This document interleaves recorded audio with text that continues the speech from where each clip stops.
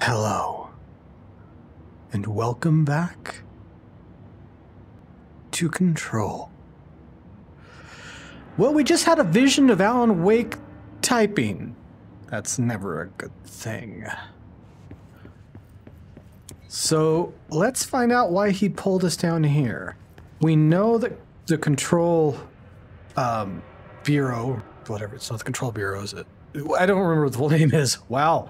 Uh, but we know that the Bureau was investigating what went on at the lake in Alan Wake. Um, so they're studying a whole bunch of objects here. So we don't know if it's a particular object or if it was Alan Wake or if Alan Wake was able to use that object and bind it to him. Maybe the typewriter? I don't know.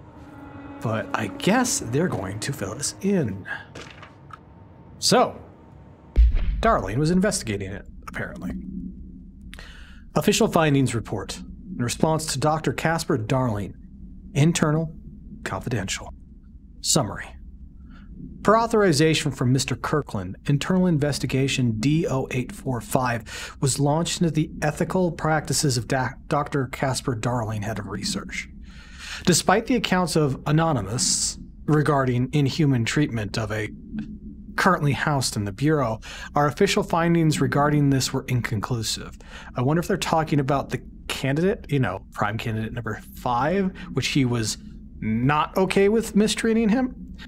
Numerous obstacles arose during this investigation. The majority of sector personnel seemed to be wholly unaware of any such contained there. One confirmed that code name to be this is really inform- informative, but all files pertaining to the name were inaccessible, being classified under the highest clearance level. Investigators were similarly blocked from entering the research wing to interview its staff.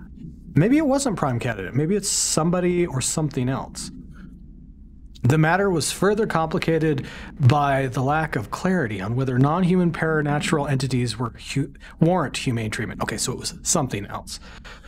While this investigation cannot address any charges against Dr. Darling, we do recommend an investigation into research. Refer to file 982-0136 for full report. That told us a whole bunch of nothing. Somebody was mistreating something. Possibly. Maybe. Who knows? Oops. Collectibles. Correspondence. Mr. Dennis, a request came through recently from an FBI agent asking for all our files on Bright Falls, specifically on the disappearance of the author Alan Wake. Per the Interagency Information Exchange Agreement, I had some paper pushers gather up a folder of all pre approved files. Don't worry, all the inappropriate material is either missing or redacted. But I'm writing to let you know that we received this request from a special agent named Alex Casey. Sounds familiar, right? That's because Alex Casey is the name of the fictional detective in those hard boiled crime books Alan, Wake, Alan Wake wrote. Pretty interesting that an FBI agent sharing a name with the most famous character Wake wrote is looking into a case dealing with a writer's fiction coming true. I think this is worth looking into, but what's your opinion? Just give the word and I'll start surveillance on, the, on this guy, Special Investigator Gleason. I, I don't know. Maybe he based it on an FBI agent, but most likely he wrote about this agent and this agent exists now, since we know what happened during the incident. That is very likely. So this happened in 2017, I guess. Mr. Kirkland, here are laced, a laced. Here are latest agents confirmed missing, presumed dead from the containment breach yesterday. Agent Jonathan Corner, researcher Ezra Cruz, Agent Caroline Dempsey, Agent Lindsay Malcolm, Agent Charles Murray, and Agent Derek Shaw. Letters of condolences will be delivered to you to sign prior to sending them to their families. You'll be updated as soon as additional confirmations are made.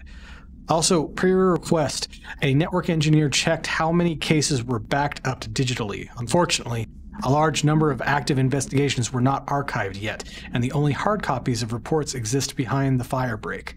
They're lost, I'm afraid. Unless we can get behind the fire break. Um, is this an incursion that we've heard about before? I don't know. Hi? Oh, I can barely see it. Burrow Tractor AI82KE. Supplementary, supplementary materials. I got it. Note miscommunication led to a local coroner examining the body of William Burrow. Burrow, William, male, Caucasian. Case summary 33 year old man found dead on his property per police report. Remains obtained for coroner's office also include blood, urine, bile, stomach contents, and bone fragments. Autopsy findings blunt force injuries to the head, lacerations at the left ear and cheek or cheek, blunt force injuries, extremities, dislocation, right knee, complete avulsion of the right upper extremity with associated fractures of the proximal uh, right humerus. Okay, before I get any further, is this the guy that was? I don't remember if he was trying to help us or not. This was a long time ago. This Let's Play, uh, but he got attacked by like flying objects and a tractor. I don't remember. Extensive trauma, uh, to abdominal region A, complete avulsion of multiple organs, including stomach, heart, liver, pancreas, kidneys, and portions of the large and small intestines, all missing from the scene. Jesus. Conclusion. It is my opinion that Mr. Burrow's death is not the result of a mechanical accident as claimed by authorities. The removal of organs is consistent with animal attack. Yeah, I don't remember. It's been, like I said, it's been a long time. I am going to get some things wrong. I heard something, but let's read this first. This happened in 2019. That's good to know. To whom it may concern, it is with great anger and regret that I tender my resignation as head of the investigation for the Federal Bureau of Control. I do this in protest of the rampant disregard for my department's. My staff cannot continue to work in these conditions. Previous requests and warnings have fallen on deaf ears, so I must now rely on my actions to speak louder than my words ever could. I blame this situation on our who has routinely ignored my requests for assistance in reclaiming the parts of the investigation sector lost to the loose inside. I will never forget the screams of brave agents begging for us to open the, that firebreak. I will carry that shame for the rest of my days. The has failed his agents. I shall never forgive him for that. Sincerely, William Kirkland. If there was a firebreak installed because of an outbreak, of some sort, then maybe it was for a fucking reason, dude. Alright, we definitely don't want to go in there yet. Will you stop floating there? Mr. Dennis. So, yes, there's an increase in AWE cases, and yes, it would be a good idea to put together a special task force to examine exactly why that is. However, it seems that a tiny little detail has slipped through the cracks. We don't have the damn staff. If you expect us to detect, investigate, and process more AWE cases, you need to give us more people. It's simple math. Between the staff we lost in the Hartman thing and the ones who left for the other departments after Kirkland quit, we're barely managing to keep up with the workload. Hell, just filing the paperwork for all altered items we left behind in the sector has been an ordeal. Another thing, and this is going to sound paradoxical, but we have an overcrowding situation. This lobby isn't meant to accommodate a whole sector's worth of staff. We put forward a motion to move investigations to a more suitable location months ago. It better not still be sitting on your desk. The people are getting restless, and as of Kirkland's interim replacement, it's your job to handle it. Best regards, Agent Grayson. So we need to find out what happened here? Oh. I mean, I don't know what else I would expect. There's a lot of story here all of a sudden. Cauldron Lake, that's what it was called, Cauldron Lake. Federal Bureau of Control. The Chief Investigator Dennis. It happened again. Third time this year. Something certainly has it out for our could be raccoons. The locals certainly complain about them enough, but why the hell would raccoons keep going after a monitoring station? Doesn't add up.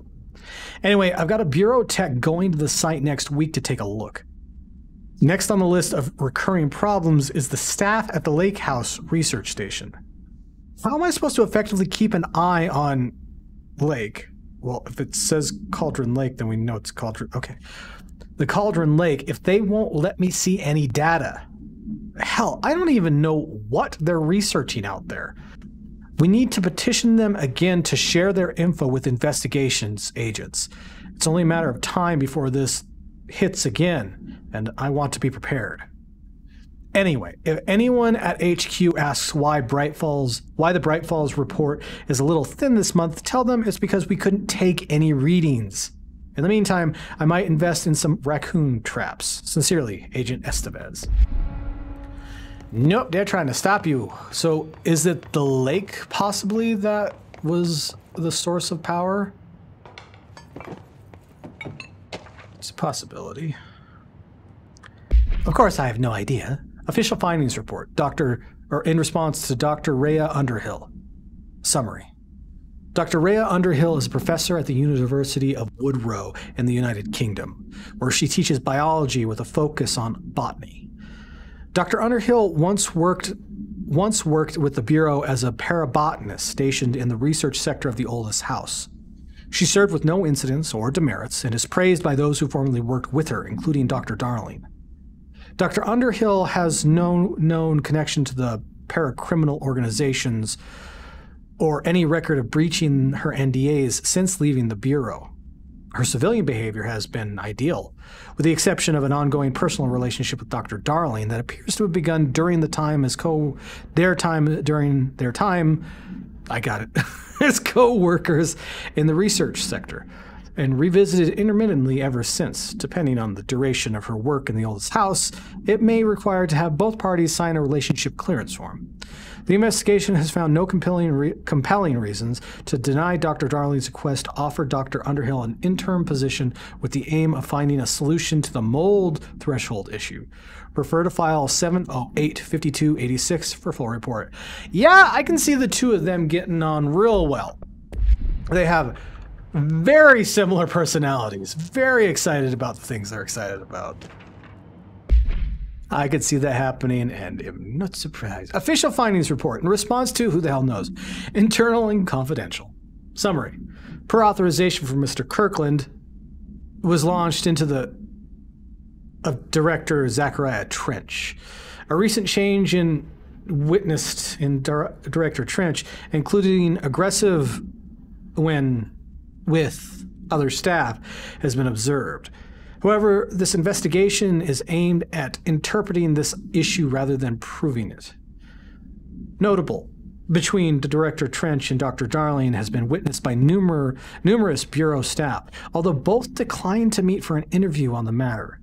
Witnesses account, witness accounts rather suggest their arguments center around the Dimensional Research Wing and the kept inside. However, no evidence exists to confirm Director Trench's as anything more than the interpersonal than interpersonal disagreements. This investigation has concluded that Dr. Director Trench rather's behavior is not indicative of any and that his fitness lead is not in question, if you say so. Refer to file for full report. I'll be honest, everything I've seen from Dr. Darling has been to get us ready for this, to stop this from happening. Trench killed himself and was paranoid beforehand. Like he had something in his head, maybe. That's a space helmet? The fuck? Kirkland, I'm growing tired of your blatant attempts to lay your incompetence at my doorstep. I know you want this to be true, but you are head of investigations. This failure is your responsibility. What did you think would happen holding a dangerous specimen in investigations? The containment sector exists for a reason. They are better trained and better equipped for this type of work. In fact, they have admirably taken on certain AWE monitoring responsibilities that your staff are no longer capable of. This happens more and more now. And don't think your heady internal investigations have gone past my notice. You're a worm. Everything I've done has been for the benefit of the Bureau. The Prime Candidates program only failed because of Darling. You are both failures, plotting against me. You are traitors, but the truth will emerge out of you. You are choosing to become my enemy, Kirkland. You don't want to be. Zachariah Trench, Director of Federal Bureau of Control. Yeah, he fucking lost it. He was going insane. Yeah, Trench's behavior is very, very suspect. And the fact that there was an investigation before all this happened means that they could have gotten to the bottom of everything if they would have only looked at the top. We're not doing that. Go away. That's kind of annoying. I should turn that off. All right, well, there's no way for us to go. Hmm. But It's not working. why Probably is it power working? core somewhere. The one right here. Where did I plug it into? Get this stuff out of the way.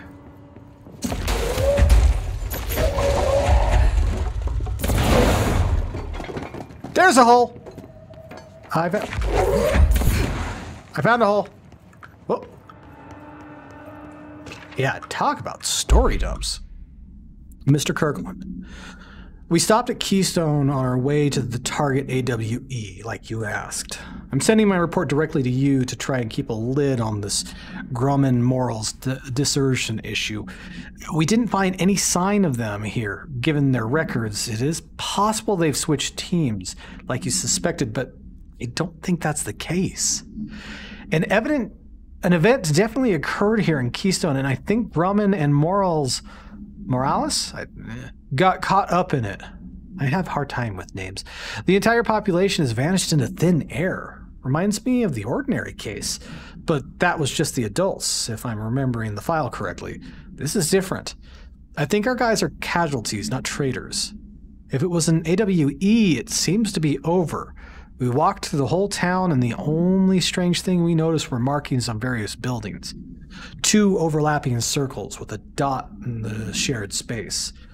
Could be unrelated. I'll show you the pictures when I get back. In the meantime, you should send a team out here to cordon this place off and maybe get the comms guy working on a cover story. Sincerely, Agent Keenum. Interesting? Question mark. Guess I'll keep my eye out on that. Oh, we know where to go now. Yeah, yeah, yeah.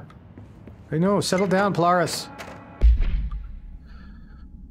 Burrow Tractor AI82KE. E. Containment procedure.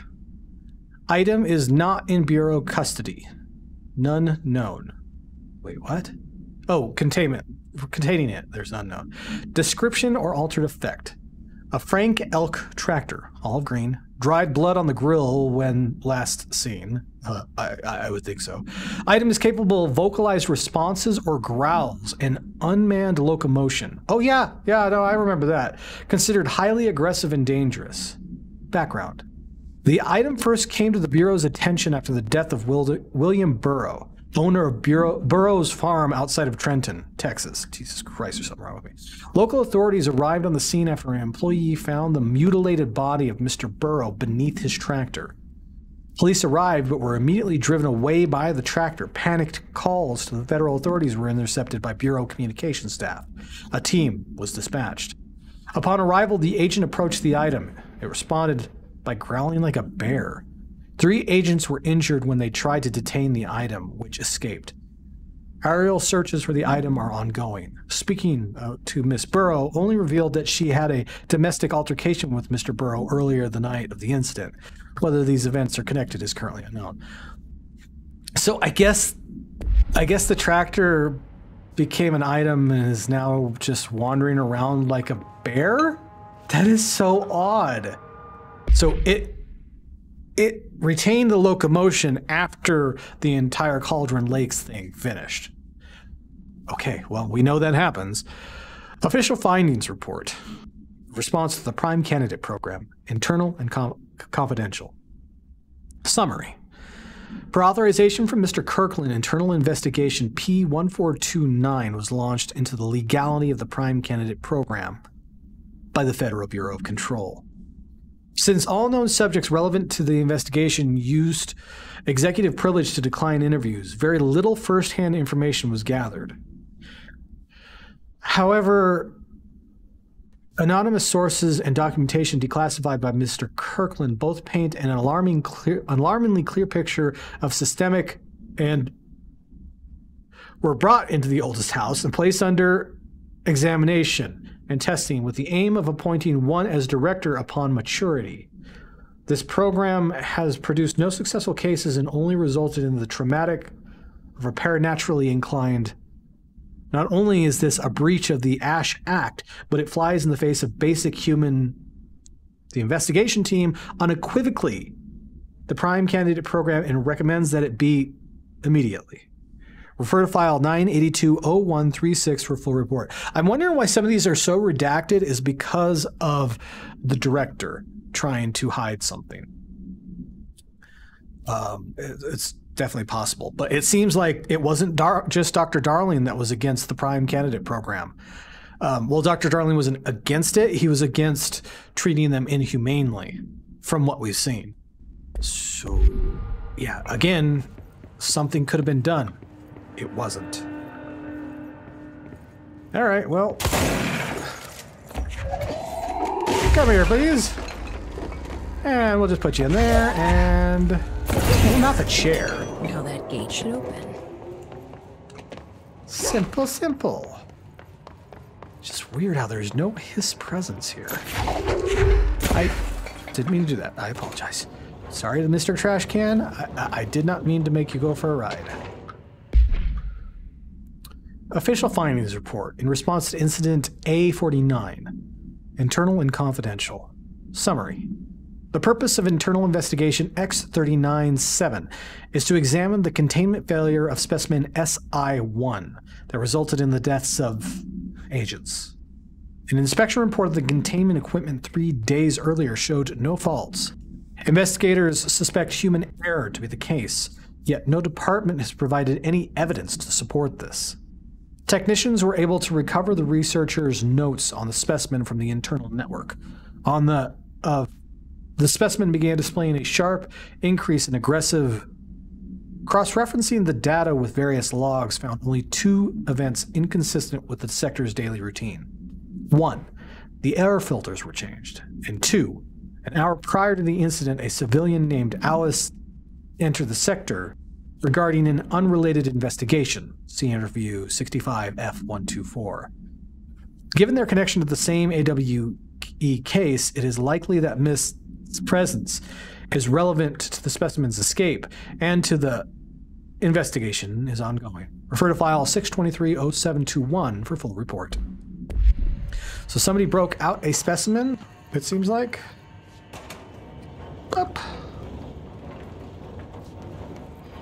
Has a control point and a way back to the hotel. Uh, I don't know what I need to get in there. I do have some abilities though. Uh, we're just doing. I think we're just doing energy right now. All right, I'm gonna wait some more. Um, do we? I want to save up the materials to upgrade Pierce, and then we'll construct charge. I don't know if we'll ever use it, but it will I'm be there at the very least. detective, but something definitely happened here. You don't say, Jesse. I'm glad you're here because I would have no idea. Looks so normal to me. Paracriminal profile, the Blessed Organization. Oh, crap. Summary The group or individual has operated outside of the Bureau's notice for decades, perhaps longer, displaying a level of skill and caution rarely seen in a paracriminal group. A review of the past cases has found various mentions of their activity over the years. In 2016, a production company called Blessed Pictures was connected to the alternate item case, as well as the deaths of an agent from exposure to illicit paranatural materials. In 1994, a Los Angeles based public speaker named Chester Bless was involved in the illegal use of an altered item. In 1988, a business called Blessed Repair and Services was suspected of involvement with an object of power, a power case, uh, perhaps even creating it. None of these businesses or individuals have ever been located. However, their connection to appearances of altered items and objects of power is too direct to be considered circumstantial. An arrest order has been issued for any persons believed to be involved with the Blessed organization. Refer to file 7390922 for a full report. Huh. I'm wondering if they actually were able to create an object of power. That's something that Control can't do. They suspect it's possible, or at least Darling suspects it's possible, but they don't know how to. Okay, so let's get in there and see if we can unlock this. Do we know each other? I Hi? feel. This feels familiar. I can't seem to. I've forgotten it. I'm sorry. What? I'm. My name is Alan Wake. Hi?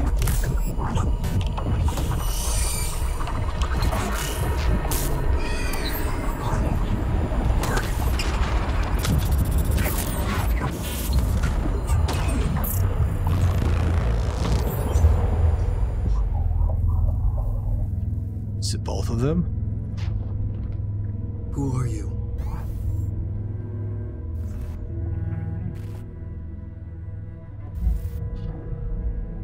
Who are you? Do I know you? I'm your friend Tom. Tom Zane. What? There's nothing to worry about. Tom. The poet. The diver. You, you look different. That was just a, a role, a character. The protagonist I played in my, my old film. I'm a filmmaker. An auteur like yourself. Huh. We're working on this together, remember? An artistic collaboration.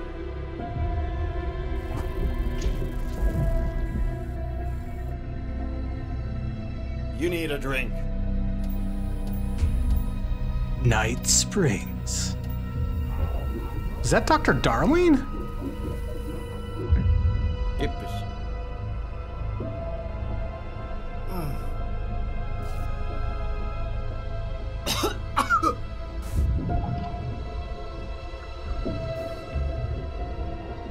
Endless. Darkness. Nothing holds still. But we're very close now. You've been writing. You found a way to escape. It'll work this time. Writing. You found a way! No. I. I don't. Wait. There's something. It's my double. He's out there. Mm-hmm. I've seen Yeah, it. yeah, yeah, yeah, yeah. Nothing to worry about. Whatever. I'm dealing with it. It's fine, my friend. Let me handle him. You've met him? What the hell? Now, now, come on. You misunderstand me. Jesse knows of Zane, but also did knew Zane as a poet, but not as a director. And now Zane is saying That he's was both. Alan Wake, the writer who went missing in that AWE case I read about. Yeah, What's he doing here? I don't know. Also in a door we've never been in. Thomas Zane was with him. Yeah. The poet. No, Well, wait. the director. He was a filmmaker. I, I always remember that wrong. I, I don't know if you are. I think there's something there. I honestly think there's something there. I don't know how far it goes, but the fact that you are sure, you were sure he was a poet, but there's no mention of him anywhere. No, he's a director. The fuck?